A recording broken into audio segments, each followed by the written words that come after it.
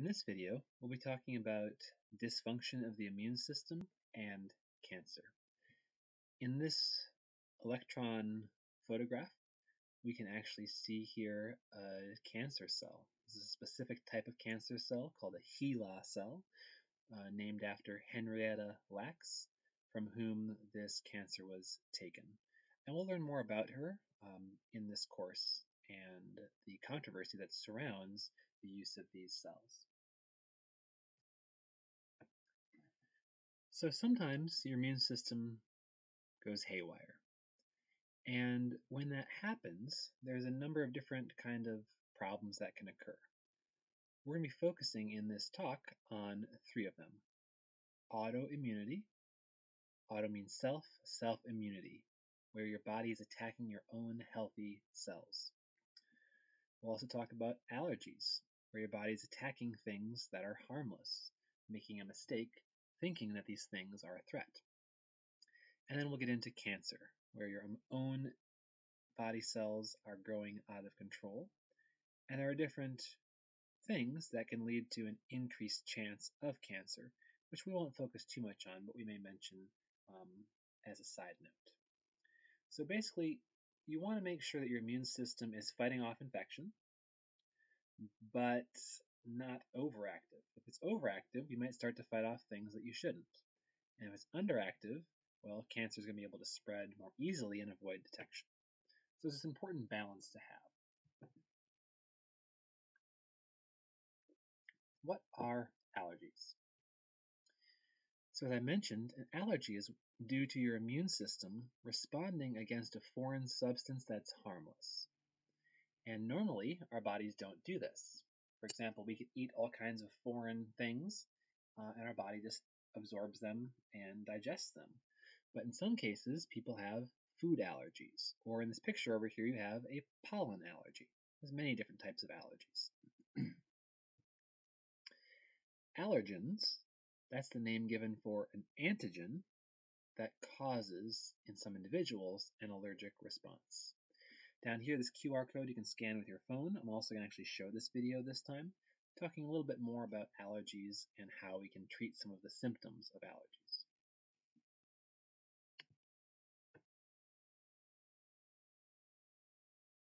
An allergy is an overreaction of the immune system to a normally harmless substance called an allergen. Common allergens include pollen, animal dander, down feathers, mites, chemicals, and a variety of foods.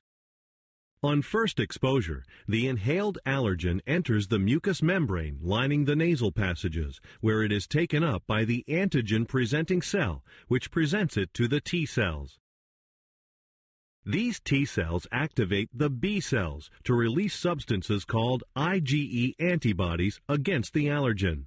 These IgE antibodies sit on the surface of the mast cells. The mast cells have granules containing chemical mediators like histamine and prostaglandins, etc. On exposure, the allergen binds to the IgE antibodies present on the mast cells, cross-linking them. This results in the release of histamine, prostaglandins, and other mediators into the surrounding tissue. These mediators cause dilation of the surrounding blood vessels and increase their permeability. This results in the nasal stuffiness, sneezing, and mucus discharge of allergic rhinitis. Antihistamines work by blocking the action of histamines at its receptors and thus decreasing the body's reaction to the allergen.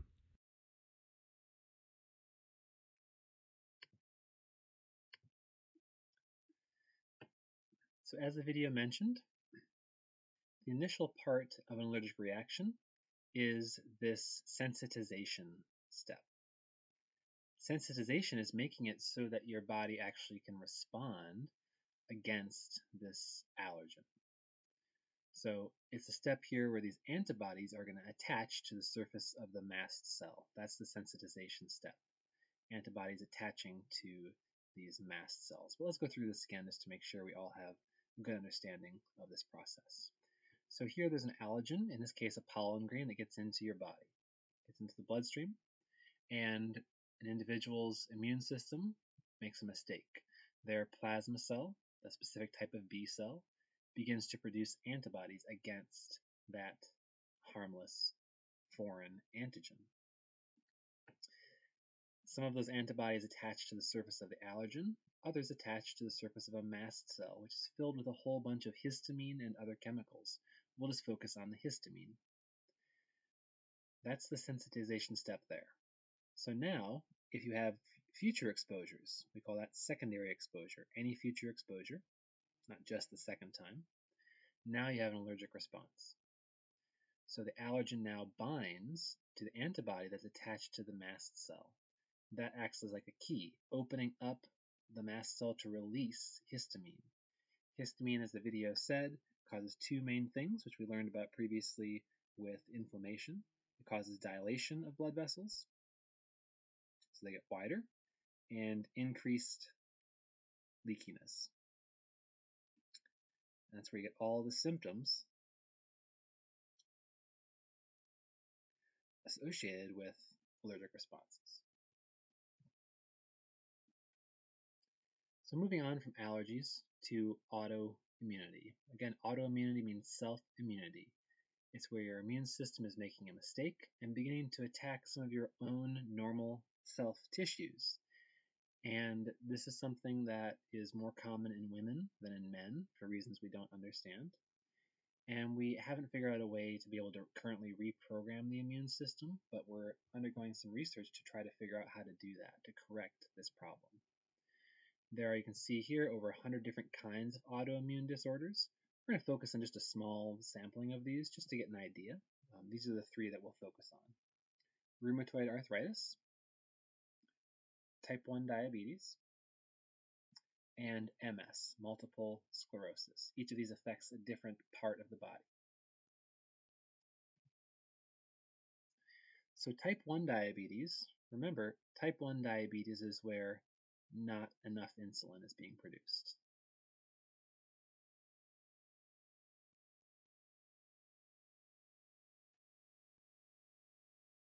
And the most common cause of this is autoimmunity, where your immune system makes a mistake and it begins to attack and kill these cells that are part of the pancreas that produce insulin.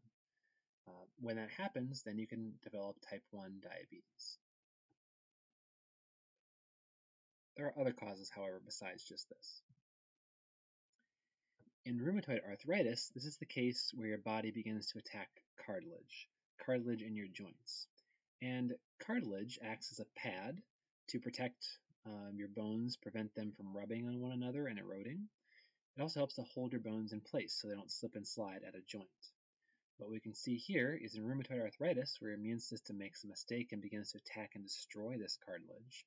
Now, your bones can start to erode from rubbing on one another and also slip out of place. So it can be very debilitating, especially in the hands where you really get to a point where you can't even use your hands anymore. It's fairly common. You see here, there's 2.1 million Americans that are affected by it, and 75% of those are women. The last autoimmune disease that we'll talk about here is MS. MS is short for multiple sclerosis. And without getting into too much detail, your nerves, many of them, are lined with a layer of insulation, and that insulation is called myelin. Insulation surrounding your nerves, just like the insulation surrounding wiring in uh, a wall, helps that electrical signal to travel quickly in one direction. If that insulation gets destroyed, in this case by your immune system making a mistake and attacking it, now that signal moves a lot slower.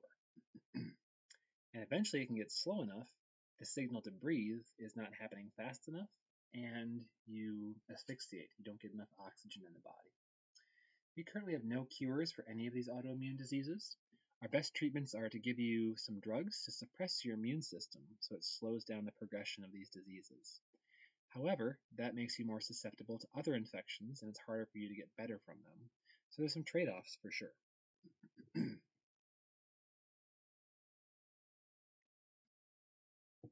Moving on next to immunodeficiency diseases or immune deficiencies, weaknesses in the immune system.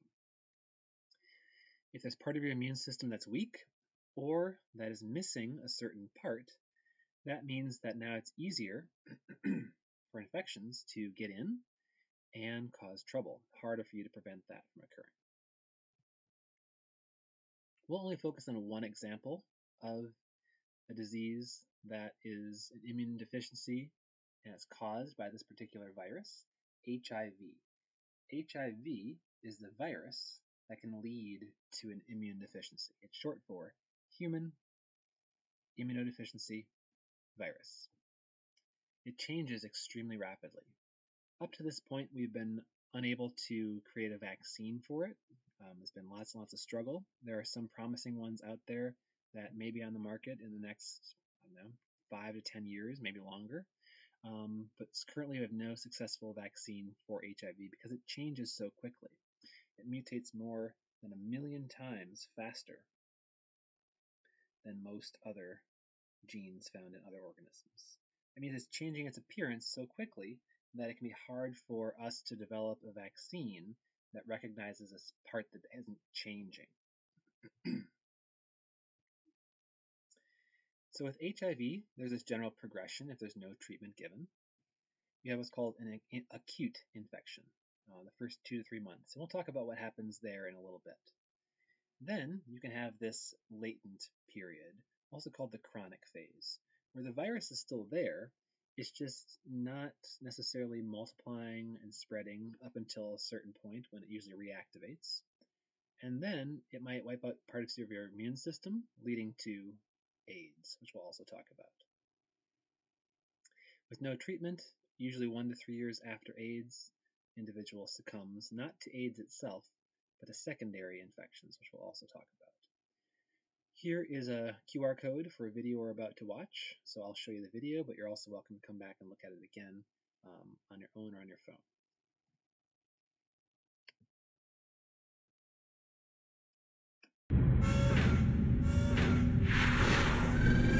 When a virus winds up inside the body, it's usually met with a furious onslaught from the immune system. White blood cells immediately respond by releasing antiviral proteins, attacking infected cells and recruiting backup. Usually, this is enough. But there's one virus that pushes the immune system beyond its limits HIV.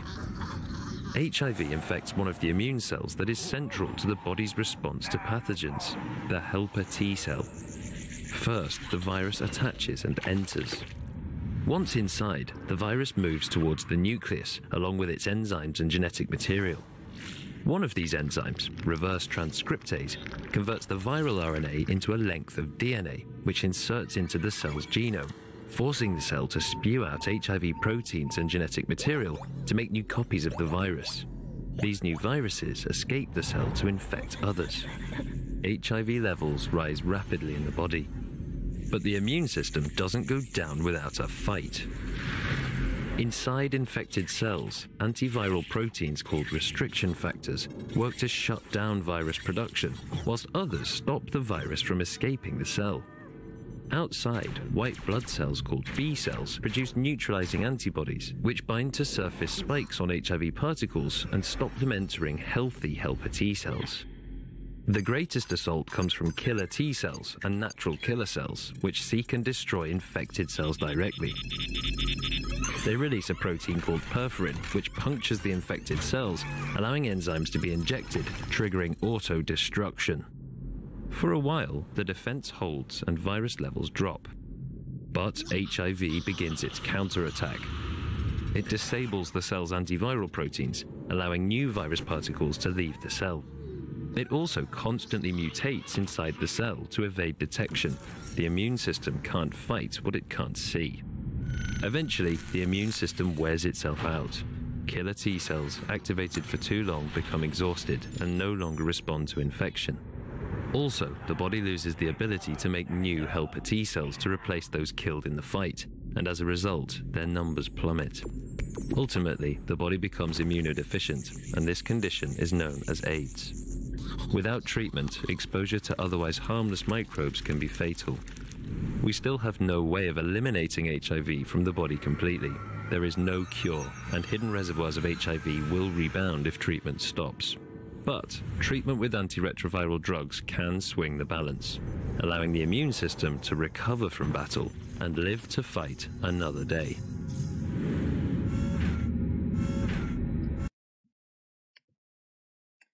Go ahead and go through this um, together. So as mentioned, the initial phase of an HIV infection is called the acute phase, where HIV actually goes inside and infects a number of our white blood cells. The only one that you'll be asked to know for testing purposes, and that's the most important one, is the helper T cell. This gets infected with HIV. And so what happens is your immune system responds by destroying the virus particles itself but also destroying the infector, infected HIV, um, HIV-infected helper T cells. And initially, within about the first 24 hours, it destroys about 99% of that virus.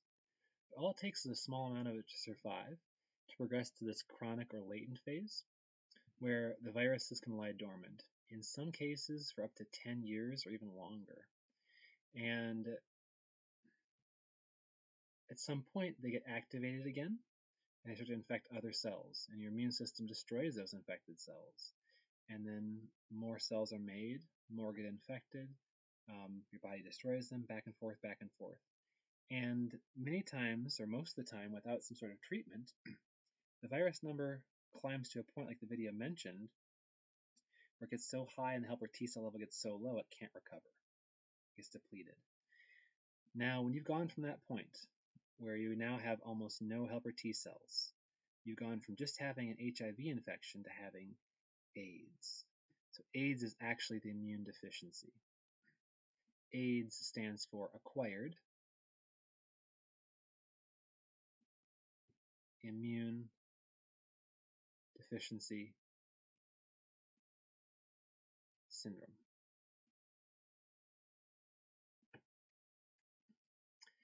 And so if you progress to this stage, because you don't have the helper T cells, because they're gone, you are no longer able to activate B cells or other T cells. And so you've effectively, you've lost your whole adaptive immune defenses.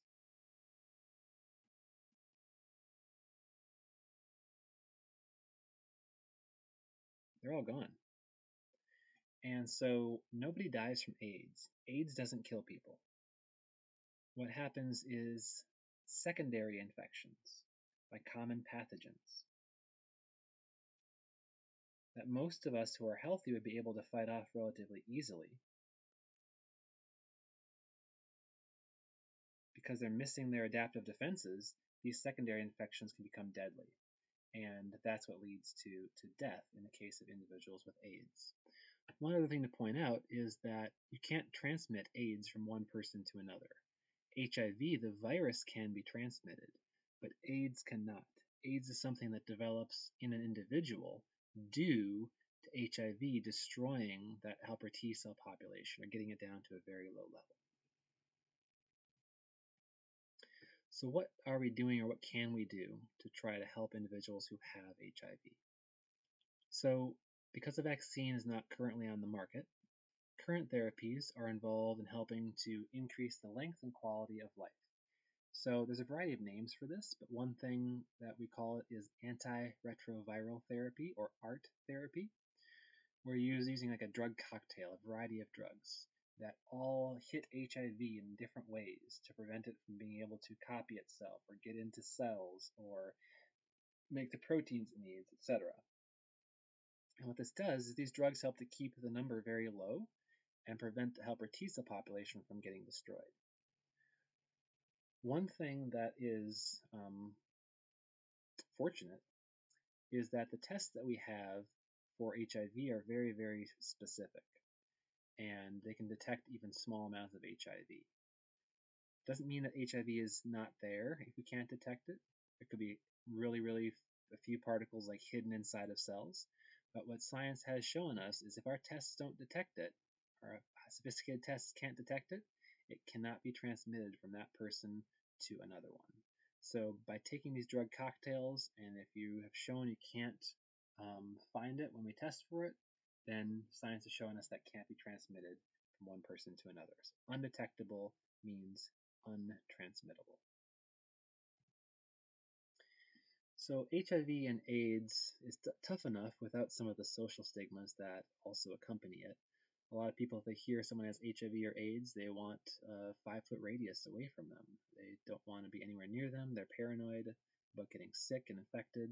And so let's talk about um, how we can avoid being that person and just see what actually is a threat in terms of transmission of HIV. So here are the three ways that HIV can be transmitted, three primary ways. Um, through sexual contact, that's the main way. Um, in certain communities, like drug using communities, uh, sharing needles to inject drugs. And also from mother to baby during the pregnancy, um, that's relatively rare. Uh, it's more common during birth or during, during breastfeeding. So HIV cannot be transmitted through the air, through the water, saliva, sweat, tears, um, closed mouth kissing. The reason I say closed mouth kissing is because with uh, deep kissing or French kissing, whatever you want to call it, uh, if there are small cuts in your gums, which there usually are, there's a very small chance that there could be a blood-to-blood transmission, which could then transmit HIV. Um, insects and pets can't transmit it, so a mosquito bites someone with HIV and then bites you, it won't be transmitted. Because unlike malaria, which mosquitoes can transmit, HIV does not go into the saliva of the mosquitoes. And so when it bites a new person, it doesn't come back out because it's in the stomach of the mosquito instead. Sharing toilets, food, drinks, none of those will transmit HIV. So what fluids do transmit HIV? Well, I mentioned blood, right? Blood to blood. Uh, breast milk. So breastfeeding. If you have HIV, you're advised not to breastfeed if you can um, possibly avoid it. Semen. Fluids from the vagina and also in the rectum. Those can all transmit HIV, but only through certain avenues. For example, if semen were to get on the skin, it wouldn't be able to transmit unless there were cuts in the skin. Same thing with breast milk or blood or any other fluids. So there's got to be an entry point to get into um, the body, usually into the bloodstream. And some are more likely than others to be able to transmit, um, due mainly to the ease at which HIV can get into the bloodstream in those areas. So, um, for example, it's much more common for a man to transmit HIV to a woman than vice versa because the penis, um, it's a lot harder for HIV to get in that way versus the vagina. When intercourse occurs, um, there can be these real small um, micro fissures that form in the walls of the vagina. HIV can then get in that way. Um, and the rectum is even more delicate than the vagina. It doesn't have lubricants, so it can have these tears much more frequently or easily. That's a more common entryway um, through through the rectum if you know that's um, where HIV is encountered. So moving away from HIV now to to cancer, the, to finish up this immune system dysfunction topic. So what is cancer? Well, I said before that cancer is where your own cells begin to divide out of control, and they can start to invade or essentially take over nearby tissues. And we'll talk about how, in some cases, they can spread to faraway um, parts of the body. When they spread to faraway parts of the body, they'll often travel through the bloodstream or your lymphatic system. Um,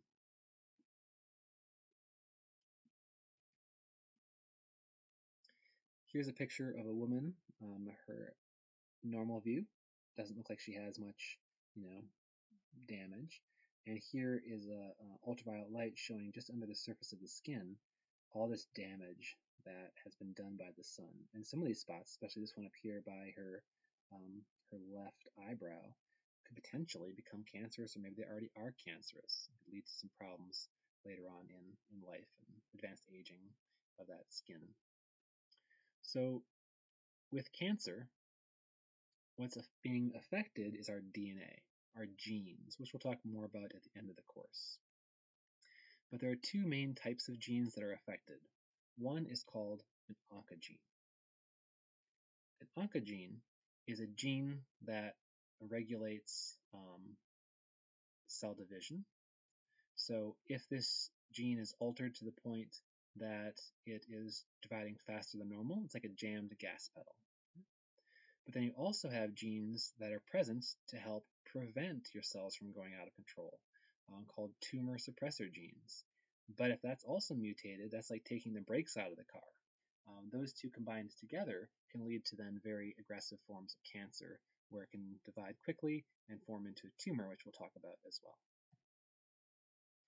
So over here, this is showing us the relative contribution to cancer incidence in terms of um, percentages and these different risk factors. You should know that the three most common um, contributors to developing cancer are tobacco use, first, then obesity, and three, pathogens. For example, HPV, human papillomavirus, is a sexually transmitted disease, or infection, I should say, and that is associated with cervical cancer. So it has a tendency to cause cervical cancer in women, which is why they recommend that women, either when they first become sexually active or at age 18, whatever comes first, that they get an HPV vaccine to reduce that chance of developing cervical cancer due to HPV infection. So mention this word tumors. Tumors form when cells um, grow abnormally. So normally you can see here, cells grow and they divide only to form new cells when they're needed. So when old cells die, new cells will take over. In tumors, those old cells don't die. Instead, they survive. And more cells form when they didn't be, weren't needed to be replacing other cells. And these extra cells can keep dividing without stopping, forming these growths that we then call tumors. There are different types of tumors. Benign and malignant. We'll talk about both of these. Benign tumors are not cancerous. They do not spread out to invade nearby tissues. However, they can be quite large still, and so they can be dangerous. When they're removed, they usually don't grow back, unlike cancer. Cancer can grow back very easily. Like I mentioned, if you have a benign tumor in the brain, it could grow so large it could start to push on your brain and impair brain function, which could be still life-threatening. On the other hand, malignant tumors are cancerous tumors. These are the opposite. They can spread into nearby tissues, and in some cases they can break off and travel to distant parts of the body. We'll talk about the term that's used to describe that transmission from one part of the body to another. That is called metastasis. So if someone says that the cancer metastasized, that's bad news. That means it spread from one part of the body where it first formed to another part, which makes it a lot harder to treat because it's no longer localized to a specific area, and it can be just a lot more, more challenging.